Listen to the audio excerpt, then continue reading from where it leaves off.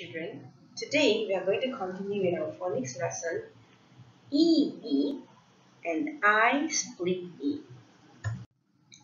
We will start off with the first phonic E E and then the second one I split E and you will have a simple practice.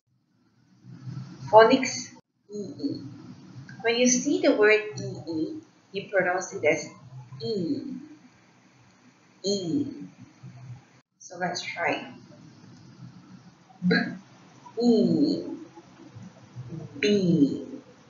Next one.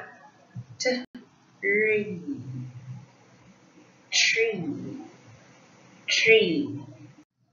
Next we have C C C. And the last one eel. We read it as eel you. Next one, I split E. When we see I split E, it is also known as a split digraph. A split digraph means two letters that form only one sound, however, the letters are separate. In this I split E, we read it as I, I.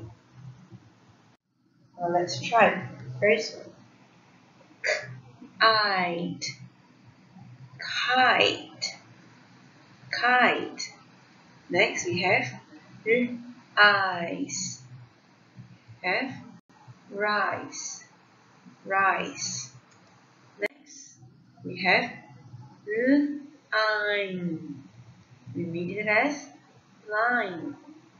Line. And the last one bike. Bike. We read it as bike. Now let's try simple practice. Let's try the first practice. Find and draw the picture with the I sound.